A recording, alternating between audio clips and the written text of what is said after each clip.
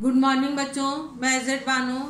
Lal Bagh girls inter college से class eleventh के लिए कल मैंने मिर्ज़ा दबीर सलामत की तलवार की काट। ये मरसिया के कुछ शेर पढ़ाए थे। आज उसके आगे के शेर की तशी बताने जा रही हूँ। शेर पढ़ती हूँ। आँखें जर्रा की तेज से गर्विदा हो गईं। मानंद कहा बर्छियाँ कायदा हो गईं। हज़रत हुसैन रजील्ला अनहो की तलवार की आब वाताब देखकर दुश्मन की आँखें गर्विदा हो गईं। मानंद का बर्छियाँ कायदा हो गईं। उनकी बर्छियाँ घास के मानंद हो गई, जैसे कि घास होती है उस तरह से हो गई।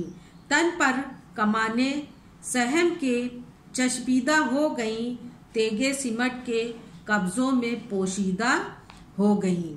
दुश्मन के हाथ से नेजे गिर पड़े और तलवारें सिमट कर कब्जों में चुप गईं।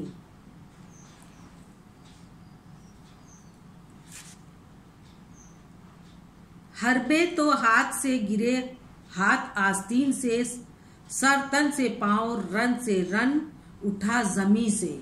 उनके हाथ आस्तीन से अलग हो गए और सर बदन से जुदा हो गए।